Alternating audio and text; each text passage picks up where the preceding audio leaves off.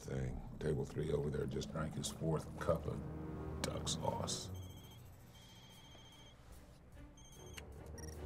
Kay, the crashed ship from this morning was stolen from. Lunar Max prison, Boris the animal. How did you know... He know? always had a taste for spiky boulevard.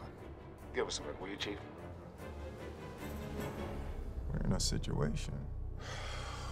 Yeah. I'll take the chloropod. You take the Tyrannoby and the hydronium over there. I'll take whoever's in the kitchen and meet you on the street.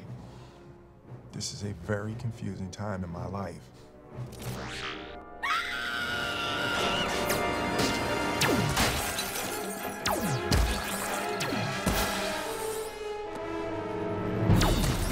That shirt won't get you through the airport either, will it? I, know, Is I have metal? all type of problems going through the airport with this outfit. I usually just wear jogging pants, so I don't have problems.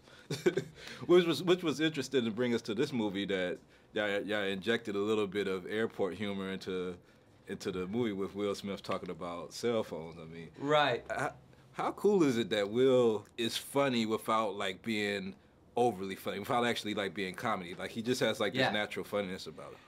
The secret to the whole Men in Black franchise is no one should be funny in the movie.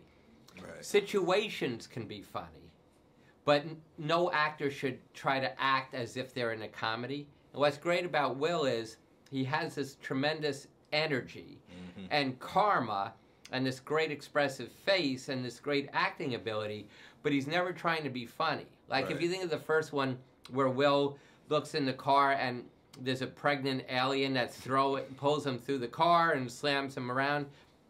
The scene is funny, and then when he gives birth to the baby and the baby spits up in his face, Will doesn't play that for comedy. He plays it for reality, Right.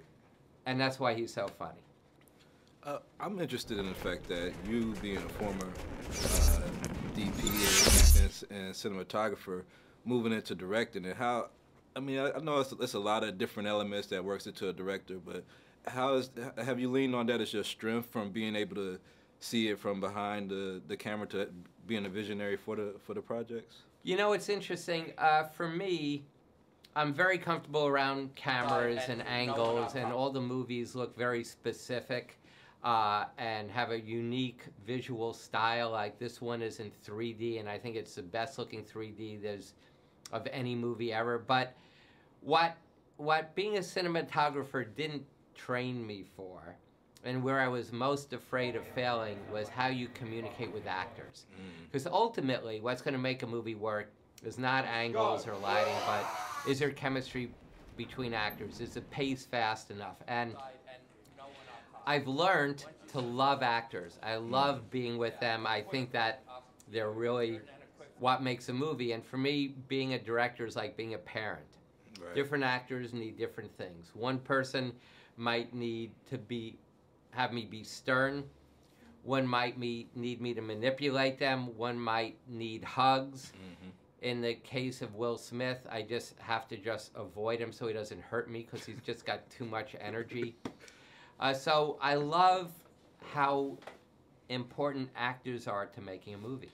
Well, what was the challenge of using uh, Josh in this picture? Because he had to recreate the chemistry that Yeah. Agent K and Agent J has, you know, played by Tommy Lee Jones. Uh, So, how did y'all develop that, that chemistry between uh, Will's character and, and Josh's character to still flow with the mood of the movie, the franchise? Well, you use exactly the right word, which is chemistry. And you kind of either have it or you don't, you know? And Will and I always said the only way we can fail is if we don't cast Agent K, young Agent K, properly because the chemistry between Will and Tommy is so strong and so familiar to an audience that you don't want to go back in the past and have the audience say, Where's Tommy Lee Jones?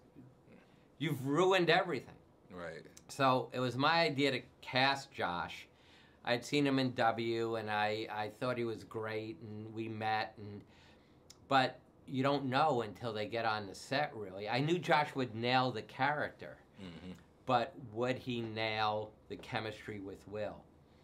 And Will and I knew instantly. The very first day of shooting with Josh and Will, we were in Men in Black headquarters, 1969.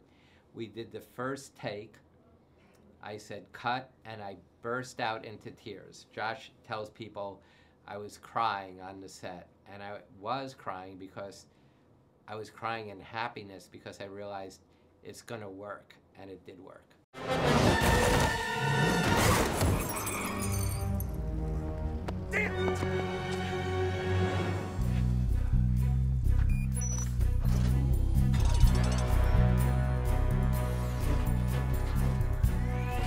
You have these in the future? No. Give it to me. I don't think this is the one where you get it now. You're out there, Chief? Hell yeah. Be better with four wheels.